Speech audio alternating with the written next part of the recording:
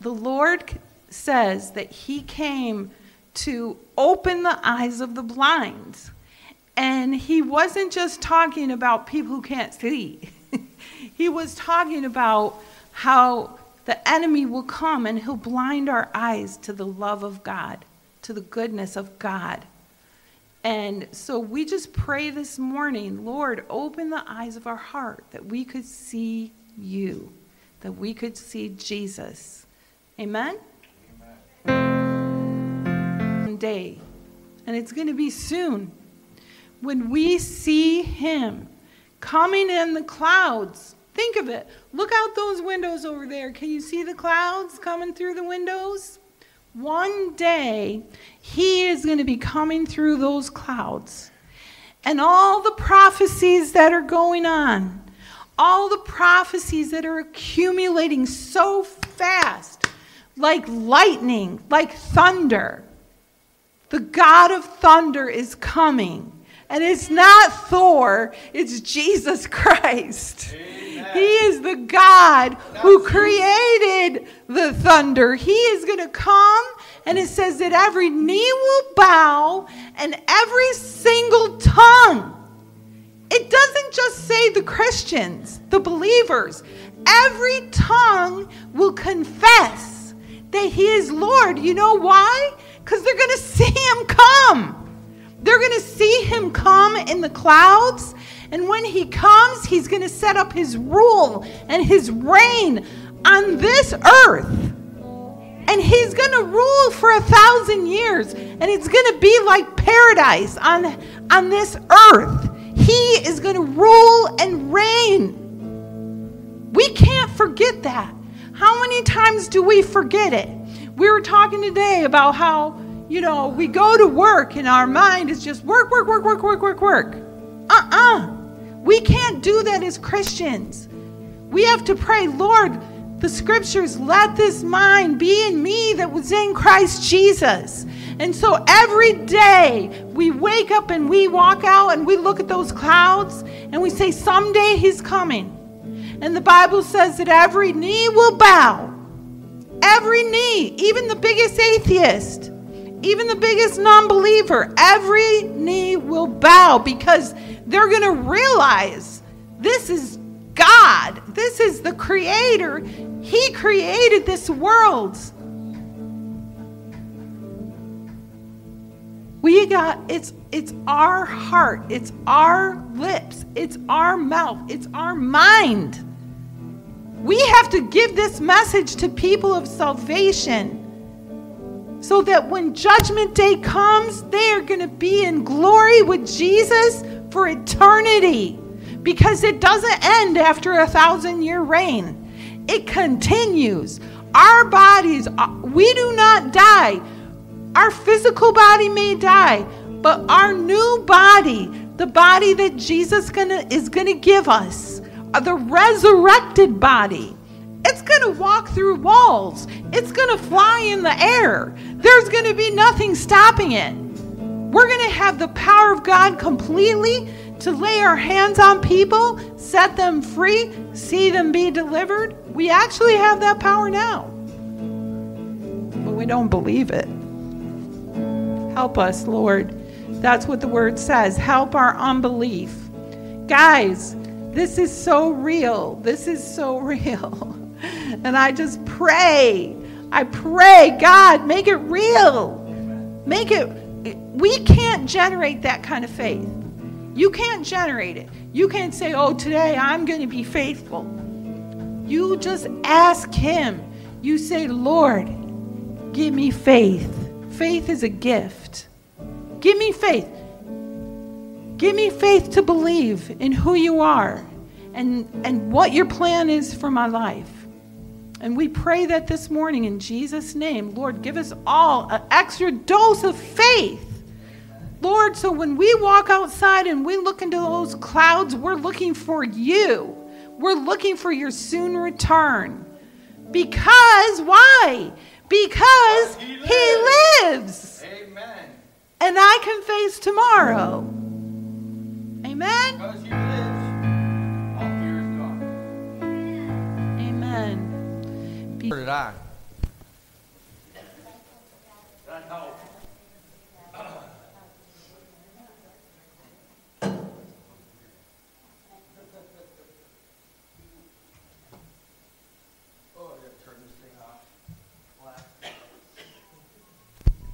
Good morning. Good morning. Well, we have a new usher today. Who shall it be? Who wants to be an usher? Owen? Ollie? Ephraim, come on down. You can come with them, Ollie. Grace isn't here, so she's our usher, usher girl. So we're going to take up an offering. Amen. Father, I thank you and praise you, Lord God, for this day. I praise you and thank you, Lord God, that you are pouring out a blessing upon us, Lord God, that we don't understand. And I just pray, Lord God, as we lift up our finances to you, that your hands would be upon us, that your promises would be on us. And Lord, you promise us that, Lord, that we would be able to not contain the blessings that Lord God, that you would put upon us as we give to you cheerfully, Lord God. And we can't comprehend that or understand that, Lord Jesus, but we give, Lord God, with a joyful heart, knowing that we cannot give you. And we just thank you and praise you for this day. And Lord, in this blessing, in Jesus' name. And everybody said, Amen. Amen. Go ahead, Effie. Because he lives I can face tomorrow because He lives. All fear is gone. Thank you, Jesus. God is good. Amen. Well, this weekend we're celebrating Memorial Day weekend. You know, Memorial Day is a day of remembrance, correct? Remembrance. Today is the day of remembrance. Not today, tomorrow. We actually celebrate Memorial Day. So that's the day of remembrance. We remember the fallen. We honor those who sacrificed all for our freedoms and our liberties in this country. And it, you know, you can, it's not just them that we remember. It's all of our loved ones that have gone on to be with the Lord that we remember also. The Bible tells us in John chapter 15, verses 12 through 13, it says, This is my command love one another as I have loved you. No one has greater love than this to lay down his life for his friends. No one has greater love than this to lay down his life for his friends. And that is exactly what Jesus did for all of us. And that is exactly what he did for all of you and for all of those who come to Christ Jesus. He gave his life for us. Amen. You know, last night, Julie and I were sitting there, we were watching the news for a little bit. I think it was Brian Kilmeade. We, we never really watched Brian Kilmeade you know, at all. Well, we were sitting there, we got home, it was late, and we were eating dinner, and it was late, and we were eating in front of the TV, which is a bad habit that we're creating, that I've created. So, but as we're sitting there, we were listening to Brian Kilmeade. He was interviewing a gentleman on there who was a special ops. Um, soldier. Special ops means exactly that. He did special operations. He was highly trained. I believe he was a SEAL. He could have been a SEAL, he could have been a Ranger. You know, they have special, each unit, each military has their own special ops operators that control the battlefields. And they're usually high ranking men. You know, men that are that are not afraid of battle, men that are battle worn. They know what to expect, they know what to do. They, they're the ones that are giving everybody instructions in the battlefield on what, what's going on and what's taking place and where they need to be. They control the battle. And they find out what their enemy is doing. Well, this guy he was interviewing, they did this thing, it's called Triple Seven. Seven jumps, seven countries in seven days and they said it was impossible. And they were doing this in remembrance of their soldiers, of their friends that fell in battle. And this one guy in particular that Brian Kilmeade was interviewing said he lost more than 50 of his friends in battle. More than 50. That's a lot. That's a lot of people. And you can see it in his interview when he was talking to him. You can see the emotions in this guy's eyes and emotions in this guy's face as he was remembering those soldiers, his friends that he fought with, right next to, literally right next to that fell in battle. And he said one guy he was doing it for, in particular, was a really close friend of his, Navy SEAL. And he said, he said that he threw himself on an IED to save his buddies. And himself gave his life. And he was doing that seven jumps in seven days in seven countries in memory of his sacrifice of his close friend that threw himself on an IED to save his life, to save the rest of the people's lives.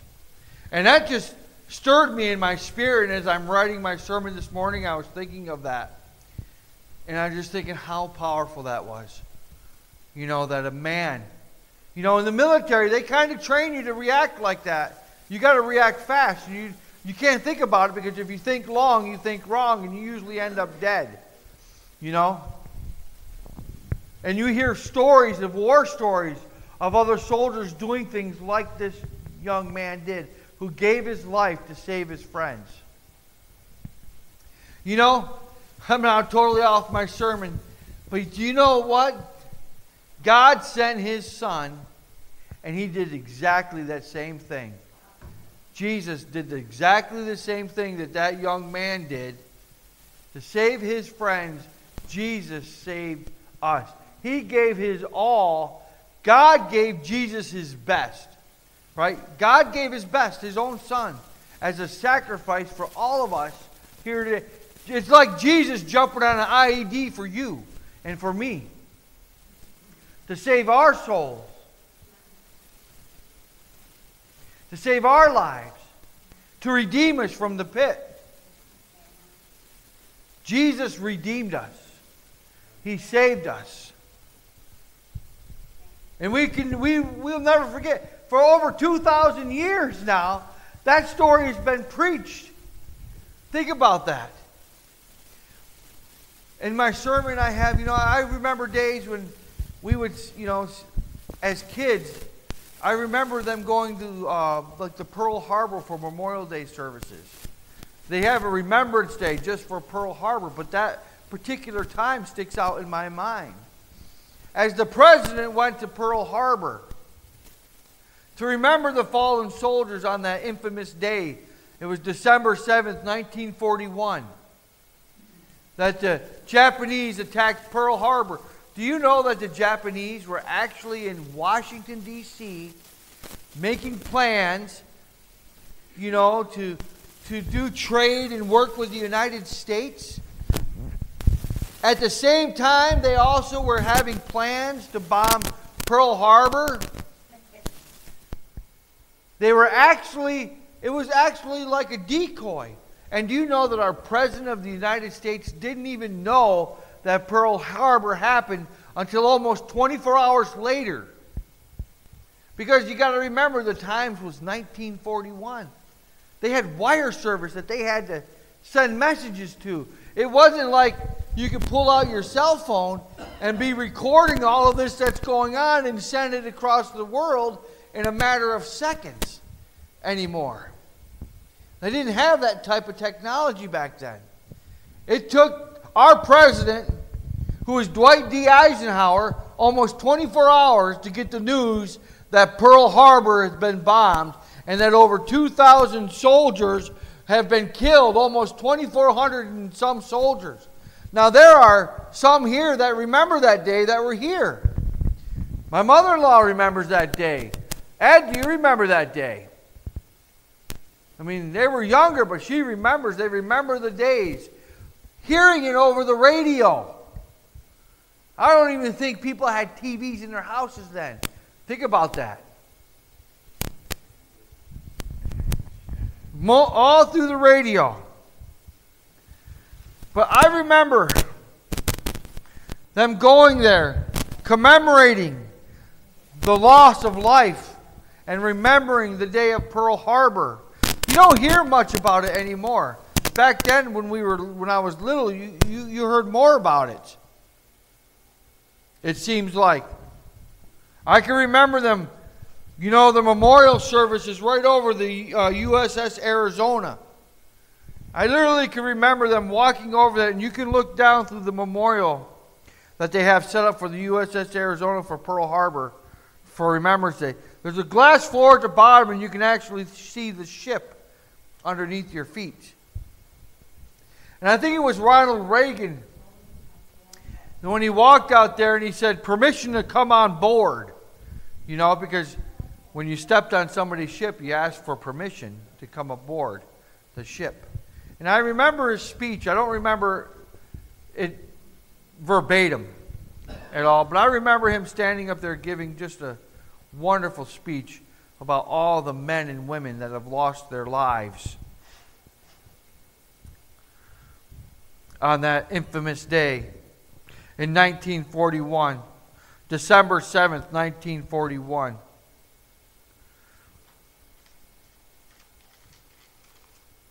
You know,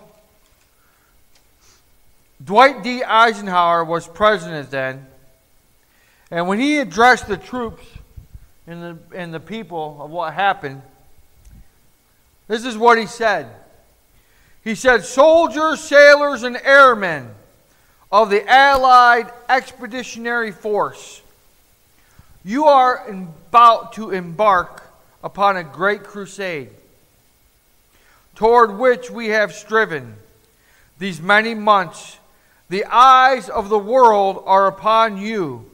The hope and prayers of liberty, loving people everywhere march with you. March with you. 2,403 U.S. personnel lost their lives on that day a lot of people in one day. I'll never forget, and most of here, most of us here will never forget the day when 9 11 struck. 9 11 is a, actually is a great day. 9 11 is my wife's birthday, which was a very hard year that year to celebrate. It was almost impossible to really celebrate her birthday that year, September 11th. But did you know that September 11th is also Jesus' birthday? That September 11th, many things, is like one of the days that Moses led the Israelites out of Egypt. It was a glorious day for God. And I want to tell you something. This is exactly how the enemy works in your lives. He wants to take something that was good that God established and he wants to turn it to something that is bad. That was a terrible day, that day in 9 11, when we saw the Twin Towers fall. And those who've seen it actually are alive and see it can remember to this day exactly where they were when they saw it. You know, I can't remember where I was yesterday, but I can remember exactly where I was on 9 11 when that happened. I remember the job that I set the guys up, and I just so happened to stop at the little Mobil gas station in Apalachin with the McDonald's in it to get me, um, I'm sure it was probably a sugar free, a sugar free a sugar-free power drink and also, you know, not a honey bun. But I can remember the first plane already hit the tower. And I can remember when I walked in the doors as they slid open, I'm turning and I look at the TV and I, and I see the tower on fire. And they said, Oh, a plane hit the tower, the trade towers. And I sat there, and the first thing I thought was, oh, somebody's in big trouble. Somebody at the towers of the airport made a grave mistake, or a pilot made a grave mistake, and somebody's in big trouble because there's a lot of lives that just got lost. And as I'm watching this on the TV, all out of the blue, you just saw the corner of your eye coming another plane hits the other tower. And then you think, oh, what is going on? And then you hear of other planes, and one that's going toward the Pentagon and hits actually hits the Pentagon, and then there and then all flights canceled. You know, when that happened, all of a sudden, no planes in the sky that day at all, except for fighter planes looking for bad guys because I knew that this was an attack, a terrorist attack upon our nation. And then that flight, Flight 93, where the passengers of that flight fought against the terrorist group. And the plane ended up crashing in Shanksville, Pennsylvania. The total loss of life on that day was 2,993 people, or 96 people, including the plane that landed in Shanksville and the plane that hit the Pentagon. Over 2,700 and some people died just at the tower. And they erected a memorial service, a, memorial. Who were alive and have seen that will never forget that day. That day, that day, those planes will be in your memory for always. For always. Memorial days are to remember those that have lost our lives, that lost their lives.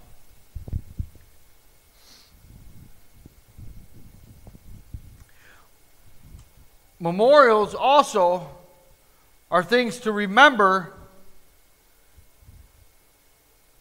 and not just of those who have lost their lives, but on the things that God has done.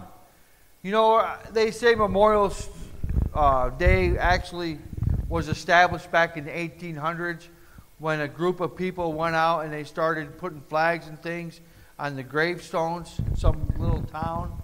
That started the whole thing. That started the whole thing of Memorial Day. Well, there's been Memorial Days in past history that go all the way back into Genesis. When Jacob wrestled with God, when he saw the ladder come down, Jacob's ladder, and he wrestled with God, Jacob set up a memorial there to remember that that place where God came down from heaven and wrestled with him and dislocated his hip, that he would never forget that that place is a holy place where God came down. And he set up a memorial there.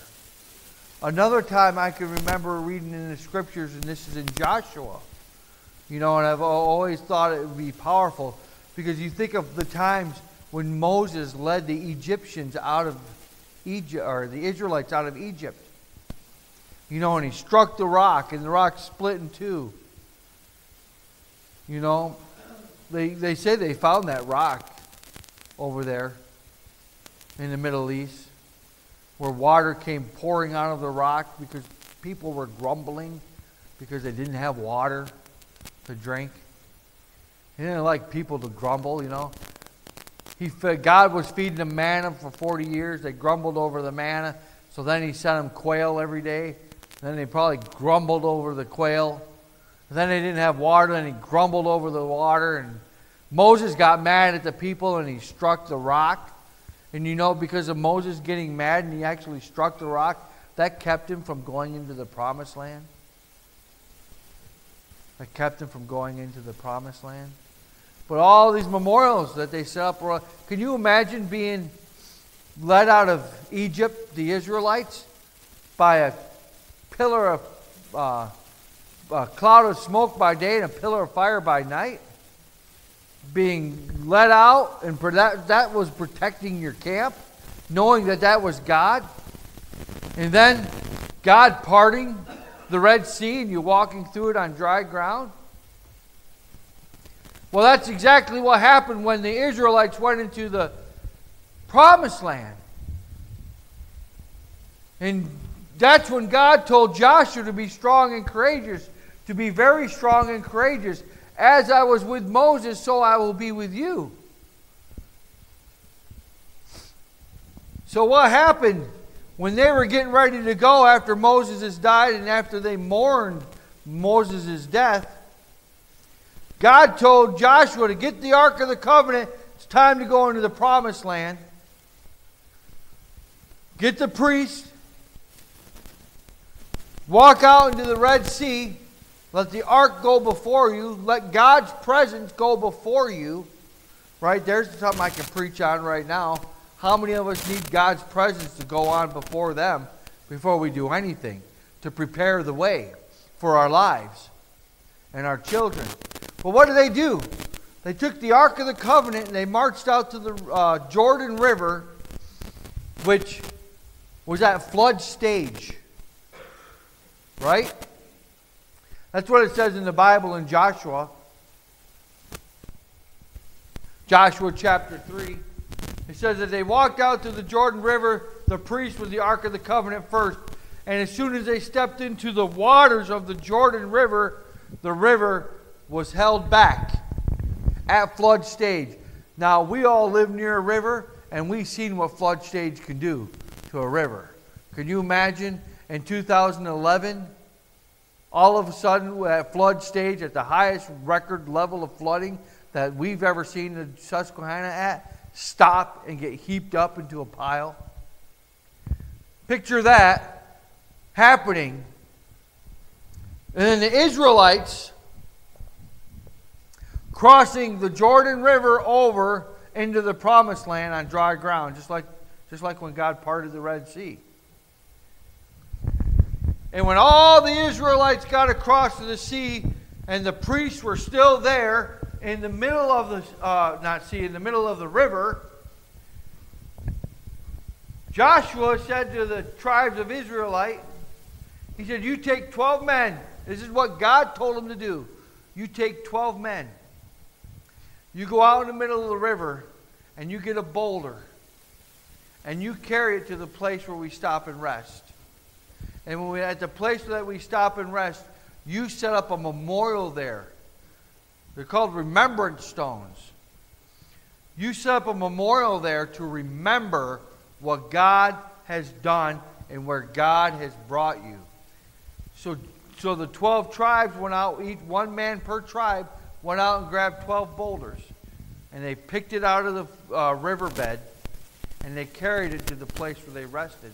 And then Joshua himself went out into the middle of the Jordan River where the Ark of the Covenant was, and he set up 12 stones in the middle of the river to where the Ark of the Covenant stood that heaped up the waters.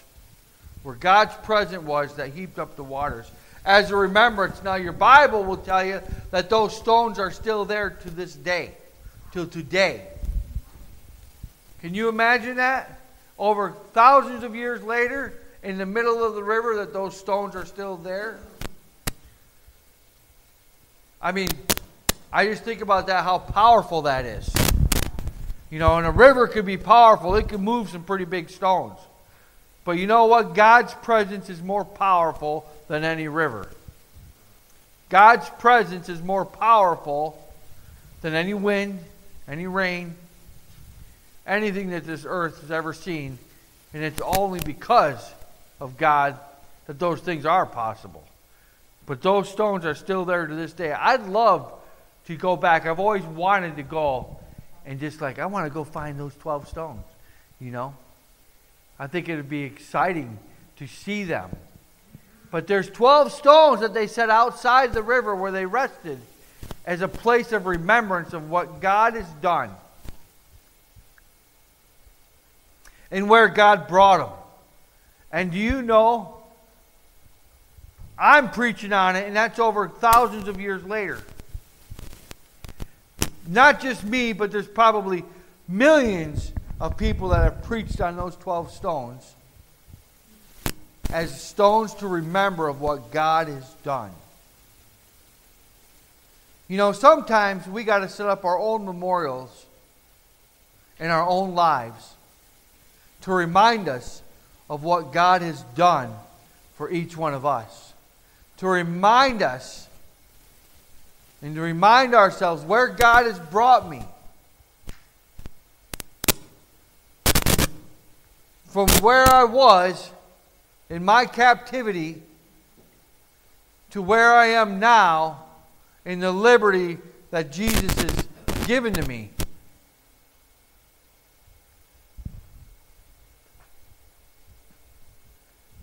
Sometimes we got to remember.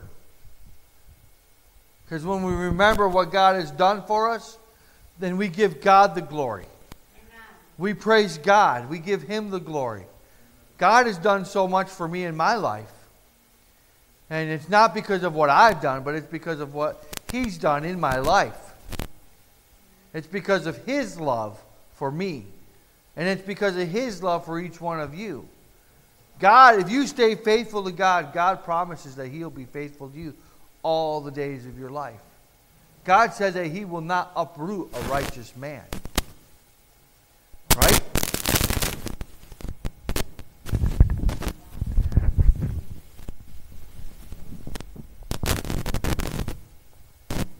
I don't know what that is. It does it on its own accord.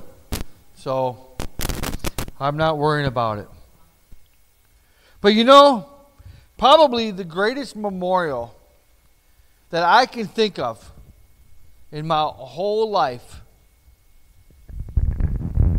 comes down to one thing. If you really think about it, what is the greatest memorial that you can think of? The greatest memorial that you can think of is the cross. You know, I, I look at the cross, I look at that wooden cross right there, and I think that wooden cross has been around the whole world.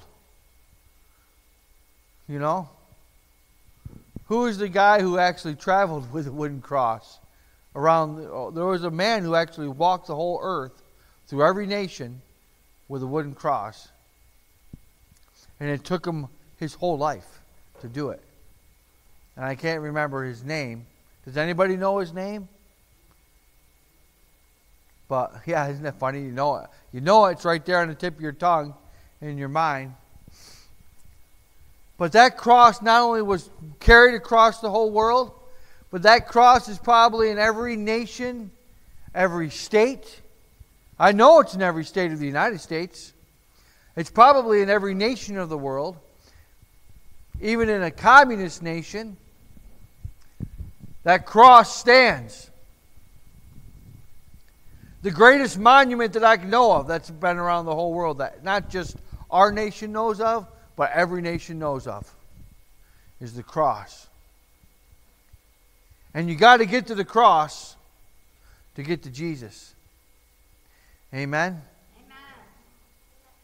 And Jesus, if you meet Jesus, that's the first place he's going to take you is to the cross. Because you got to go through the cross. Going through the cross is being redeemed, is being covered, is being protected. The cross of Christ. You know, we saw something on, uh, saw something today that Julie showed me. That you know, when the Israelites marked out the blood on the doorpost and it's lintel I was wrong this morning, but it was lintel or mantle is what they used to call it. Because when you used to make a door frame, they had two posts that went up, and they had like a mantle over the top, like you would have at a fireplace mantle, right? That held up the door. That was the door. And they marked both the doorposts, and then they marked the mantle on the top when they dipped the blood with the hyssops. In the, you know, dipped the hyssop into the blood and marked them. Well, that blood also dropped down on the door. And that blood kept the death angel from entering into that house, passing over them. That's exactly what the blood of Christ does for us. It keeps the enemy away from us. When we apply the blood of Christ to our lives. You know, and it marked out every spot where Jesus was pierced by his hands, the doorpost, crown of thorns on his head, and his feet, because the blood dripped from the lintel down to the floor when they marked it over the mantle or the lintel. The places where Jesus was pierced. It's powerful. The blood is powerful. There's power in the blood. And you need that blood sacrifice of Jesus to redeem your lives. The greatest memorial that I know is the cross. Another great memorial that I know is that we do it on Sundays quite a bit here and in remembrance of Him. what is that? Communion, the breaking of bread and partaking of wine. He does this. He says, Do this in remembrance of me. Do this in remembrance of me. For thousands of years, people have been doing this in remembrance of Jesus. And we all remember what Jesus did. We all remember the sacrifice that Jesus did. Thousands of thousands of years later, you think about that. Thousands of years later. You know, thousands of years from now, we might remember Pearl Harbor. We might remember 9 11, but it'll probably be written in just a history book that thousands of years from now people will read. And they probably won't celebrate it like we celebrate it now because it happened in our lifetimes or that we know of, remember. Unlike we celebrate the cross. But I guarantee you, thousands of years from now, if we're not in the millennial reign with Jesus, which I think we're going to be entering in soon, when he comes again, as my wife said, in those clouds coming out over the sky, they'll still be preaching the cross. Thousands of years from now, that cross will endure. What Jesus said will endure. What this word said will live on forever will endure. But I guarantee you, Pearl Harbor won't endure. I guarantee you, 9 11 will not endure like that work of Jesus did on that cross. Amen. So let's bow and pray as I close. Father, I just thank you, Lord, and praise you for this day. I thank you, Lord, for your sacrifice. I thank you for all the men and women that have sacrificed their lives for us, for our freedoms. I thank you for all the patriarchs that have gone before us. I thank you for all the men and women that lost their lives sharing the gospel of Christ across this world. I thank you, Lord God, for all the men and women, Lord God, that sacrificed their lives for our freedoms here in this place.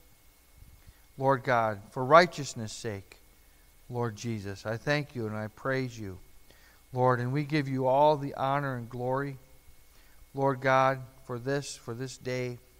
I thank you for each person here. I pray your blessings upon them. Pray that you would speak to them. Lord God, and that you would use them mightily for your kingdom. I pray that we would apply the blood to our lives, to our families, to our children and our grandchildren. That, Lord, that it would keep. Your blood is so powerful that, Lord God, not even the death angel can penetrate it. That you would keep death and decay far from us. That, Lord God, that you would keep the enemy far from us. Lord God, and his minions. And I pray this, Lord God, and I pray for your blessings and your covering in Jesus' name. Amen.